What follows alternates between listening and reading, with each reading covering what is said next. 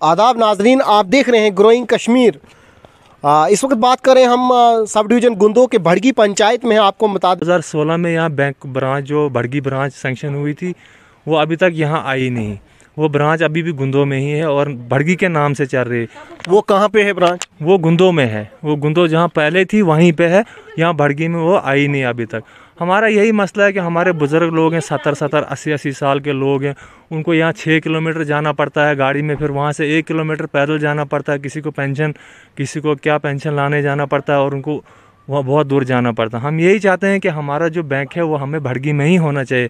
और कोई नए जो हमारे बुज़ुर्ग हो रहे हैं, साठ साल से ऊपर हो रहे हैं, किसी को फार्म भरना है, किसी को क्या करना है, उनको भी उधर जाना पड़ता है।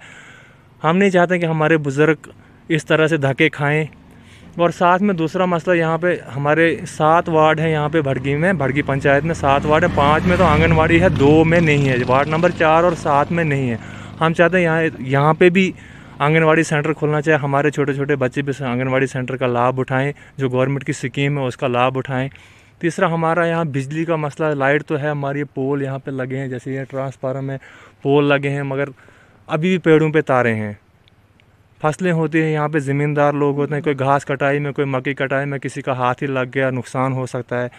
पोल बराबर नहीं है, पोल इसके साथ, पेड़ों के साथ तारें लगी जैसे ये ट्रांसफार्म यहाँ रोड पे है, बिल्कुल रोड पे है, कोई भी किसी भी किस्म का इंसान चल सकता है, पागल भी चल सकता है अच्छा भी चल सकता है, इसको प्रोटेक्शन होनी चाहिए थी, कोई ग्रिल श्रिल लगा के होना चाहिए था, ये भी ऐसे ऐसे ही पड़ा हुआ है। कुछ भी हो, कोई भी नुकसान हो सकता है। तीसरा, हमारा स्कूल है, स्कूल तो है यहाँ पे मगर स्टाफ तो पूरा है ही नहीं। वो तो कभी होगा भी नहीं पूरा, हम, जब हम पढ़ते थे, तब भी स्टाफ पूरा नहीं होता था, आज भी बच्चे पढ़ते हैं, आज भी स्टाफ पूरा नहीं है।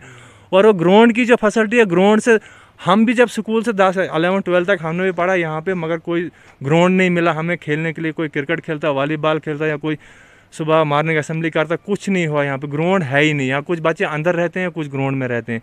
बहुत बड़ी दिक्कत है ये। अब यही गुजारिश करते हैं कि यहाँ पे जो भी फैसिलिटी हैं जो सिटी में फैसिलिटी मिलती हैं वही गाँव में भी मिलनी चाहिए ताकि यहाँ के लोग भी लाभ उठाएँ। चलो शुक्रिया आपका। हमारे साथ बात करने के लिए थे ये बशीर अहमद सोशल एक्टिविस्ट इन्होंने हमसे बात की। इनका यही कहना है कि आ, अभी जो जेके बैंक ब्रांच जो है, भड़गी के नाम की ब्रांच जो है, वो गुंदो के अंदर मौजूद है। आपको हम बता दें, गुंदो में दो बैंक है, दो जेके बैंक है, एक गुंदो ब्रांच और एक गुंदो भड़गी ब्रांच। और भड़गी ब्रांच जो है, वो भड़गी में होनी चाहिए, क्योंकि यहाँ के जो सत्तर अस्सी साल के बुज़ुर्ग जो हैं, उनको यहाँ से गुंदो पैदल जाना पड़ता है और पैदल जाने के बाद उनको कभी किराया नहीं होता है तो यहाँ से पैदल जाके गुंदो पेंशन निकालनी होती, वहाँ पेंशन निकालते हैं। अगर गाड़ी में बैठना होता तो अस्सी रुपये उनको कम से कम खर्चा आता है। तो इनका यही कहना है कि अगर जेके बैंक ब्रांच भड़गी के नाम से है वो गुंदो में क्यों है? क्योंकि यहाँ के लोगों को बहुत मुश्किल का सामना करना पड़ता है। यहाँ हमारे साथ और भी शख्स मौजूद है इनसे भी बात करेंगे। सर क्या कहना चाहते हो आप? सर यही बैंक का ज़ोर है जो हमारा भड़गी ब्रांच बैंक वो आना चाहिए हमारे भड़गी में क्योंकि यहाँ से बुज़ुर्ग जो जाते हैं वो गुंदो जा नहीं सकते पैदल। आप फिर गाड़ी में जाएँगे उनके पास उतना किराया नहीं होता है।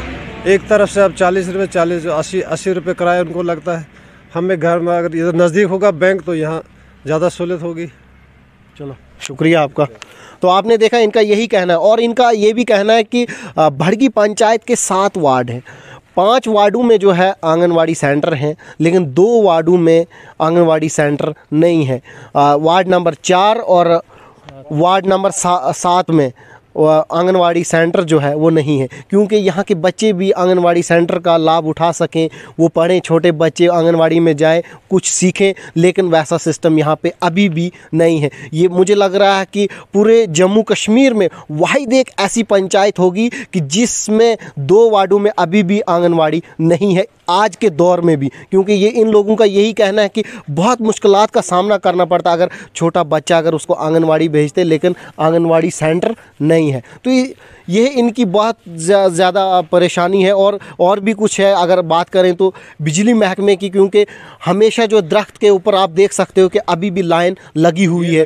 तो क्योंकि पोल वगैरह यहाँ पे नहीं दिए हैं। तो लोग जो है, अगर मैं बात करूँ तो मुझे लग रहा है कि पूरे जम्मू कश्मीर के अंदर हमेशा जो अभी भी भड़गी पंचायत बहुत ज़्यादा पीछे है, क्योंकि आज तक यहाँ पे हमेशा जो अफसरान जो भी आए हैं, उन्होंने हमेशा भड़गी पंचायत को नज़रअंदाजी किया है, क्योंकि इसके ऊपर पूरा गौर से अगर देखा होता तो भड़गी पंचायत भी अभी आगे होती, लेकिन ये हमेशा अभी भी पीछे ही है। इसी के साथ आप देखते रहे, ग्रोइंग कश्मीर में आपका मेज़बान सनाउल्ला दिन भर के तमाम तर अपडेट्स पाने के लिए सब्सक्राइब कीजिए हमारी सभी ऑफिशियल चैनल्स को और साथ ही साथ बेल आइकन भी प्रेस कीजिए ताकि आप तक पहुँचे हर खबर सबसे पहले।